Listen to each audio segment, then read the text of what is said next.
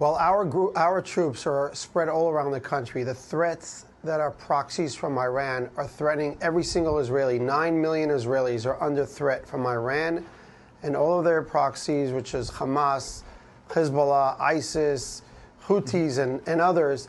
We have volunteers who are ready to go. Unfortunately, many of them uh, are exhausted from almost a year of protecting right. Israel, fighting for people's lives.